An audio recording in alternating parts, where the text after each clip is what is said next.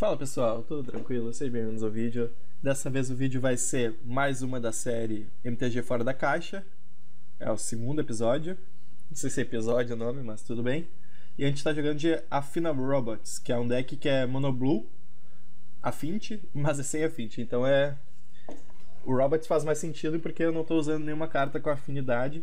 Inclusive eu não tô usando os terrenos artefatos por causa do Gush. Então eu só tenho um, uma temática assim de artefatos que não é muito grande, não grande o suficiente para usar afinidade. Então vamos falar sobre o deck. Vou começar falando sobre os terrenos. 17 terrenos é um número sólido.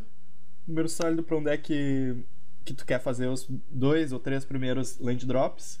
E tu também tem formas de colocar terrenos no fundo, né? Com o, com o Scry do, do pássaro e com o Preordain. Então tu pode colocar terrenos pro fundo. Então é um número seguro de terrenos para esse tipo de deck. Falar sobre os artefatos agora. Não, começar falando sobre as criaturas. As criaturas são quatro Ornitóptero. O Ornitóptero ele tá aqui pela sinergia que ele tem com o Metallic Rebuke, né? Porque eu posso virar ele para gerar mana, para anular uma mágica, menos que o, que o controlador pague 3. E ele tem uma sinergia muito boa com o Ninja of Deep Hours. Eu, inclusive, postei um deck parecido com esse, que utilizava dessa interação aqui no canal há algum tempo atrás, e eu vou deixar o link na descrição. Outra criatura, que é uma criatura nova, é o Artificer's Assistant, que é uma mana 1 barra 1 voar. Quando tu casta uma Historic Spell, tu dá Scry 1. Então isso é muito importante porque Historic Spell aqui no Pauper são apenas artefatos, né? Então, terrenos não vão trigar essa habilidade, então não faz muita diferença ter terrenos artefatos para essa carta. Porque tu pode, quando tu fizer ela, tu pode fazer um Bone Sol e já fazer um Scry 1, então tu já vai ter algum tipo de valor. Ela também é muito boa com o ninja porque ela é uma forma de, de atacar de forma evasiva no primeiro e no segundo turno. Próxima criatura é o Gearsmith Prodigy, outra criatura nova também, de M19, a, a última edição lançada. Uma mana azul 1/2 e ganha mais 1 mais 0 enquanto tu controla um artefato. Então é um. É uma ameaça, né? Uma forma de atacar o oponente mais rápido possível.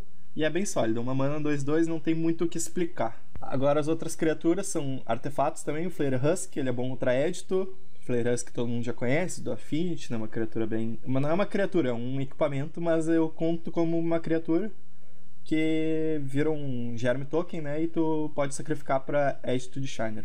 Vodscourge eu tô usando 4, que ele é muito bom para corrida. É muito bom quando tu tá contra um Stomp ou algum deck assim que tu precisa ganhar vida. Um Burn, talvez. Então ele é muito interessante por esse motivo. Os outros artefatos são 4 Banisol, ele é bom porque ele pode dar o Scry do Artificer's Ascendant, ele dá o, o Pump do Gearsmith Prodigy, e ele dá mais um mais zero para um Void Scourge ou para alguma outra criatura, então ele é bem interessante nesse deck, ele pode ser virado para ajudar a castar o Metallic Rebuke. 4 Bone Splitter também é muito bom, junto com todas essas cartas que eu falei, também para utilizar o Metallic Rebuke. Isso é um pouquinho mais difícil assim de utilizar a habilidade, porque tu tem que pagar uma mana para para colocar no campo, então pode atrapalhar, mas o mais 2 mais 0 faz bastante diferença. E agora eu vou falar sobre as mágicas. As mágicas eu estou usando dois Preordain, que é uma carta assim mais pro mid late game para dar uma para colocar os terrenos pro fundo ou pro início do jogo, caso tu tenha apenas um terreno, tu colocar o segundo terreno no topo. Então é uma carta que é interessante para fluir melhor as draws. 3 Vapor Snag, a remoção, né, entre aspas, do deck, para voltar uma criatura para mão, poder bater com o ninja mais vezes. Então é uma carta que ela pode ser versátil dependendo da match que a gente estiver jogando contra. 4 Metallic Rebuke, né, eu já expliquei bastante a interação de outras cartas, mas ela é muito boa porque ela pode ganhar um tempo muito grande do oponente. Eu estava utilizando 3 cópias, mas eu vou testar nesse vídeo com 4 para tentar anular mais coisas no início do jogo e vamos ver se vai dar certo.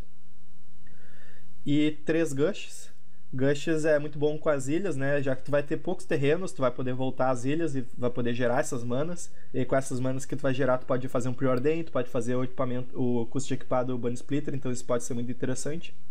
E o Ninja, não sei se eu falei sobre ele, mas ele é a carta mais forte do deck, né, na minha opinião, porque tu vai no início do jogo tu vai comprar muitas cartas e tu vai ter formas de, entre aspas, proteger ele. Uma coisa que eu posso colocar nesse deck também é Mutagenic Growth, Talvez seja uma boa, no lugar de algum Metallic Rebuke também, para dar uma versatilidade maior. Não ter só formas de anular e ter formas de pumpar também. Mas, pensando bem, acho que eu vou colocar uns dois, Metallic, uns dois Mutagenic Growth aqui. Mudança de planos. Beleza, coloquei dois Mutagenic Growth no lugar de um Metallic Rebuke e no lugar de um Bone Sol. E eu acho que. E ele é bom também, o Intelligent Growth, né? Pra poder salvar uma criatura de um raio, né? Ou para trocar uma criatura numa batalha, uma criatura que o oponente tenha, para surpreender o oponente. E então vamos falar sobre o sideboard. O sideboard é o seguinte: 3 anular, anula o artefato ou encantamento, é muito bom contra Auras, muito bom contra Affinity, então essa é uma carta bem versátil, que pode pegar vários decks de surpresa. Araflux, que é bom contra decks com muitos encantamentos, né? principalmente o Mono White Heroic e o GW Auras. 2 de Spell, que também é muito bom para proteger as criaturas de raio ou de próprio, próprios counters, né? Que podem vir a acontecer. 3 Hydroblasts, destrói a criatura a permanente vermelha ou anula, permanente, ou anula a mágica vermelha. Então é uma carta muito boa contra vermelho, então é meio que obrigatório para um deck azul usar Hydroblast. Gutshot tá aqui contra Elfos, né? Que é uma match aparentemente difícil. E também pode ser bom contra outras matches, agora que eu não me recordo. Talvez Stomp então, estou usando quatro cópias de Gutshot e duas Relíquia de Projeto, já que eu tenho alguma sinergia com artefatos, não custa muito colocar mais artefatos que podem ajudar contra decks que utilizam bastante cemitério. Bom, o deck é isso, ficou bem breve. Acabei fazendo essa mudança aí, desculpa aí por ter feito essa mudança. Eu acho que acredito que vai ser bom pro deck. Mas eu vou ficando por aqui até, até os jogos e até mais. Falou!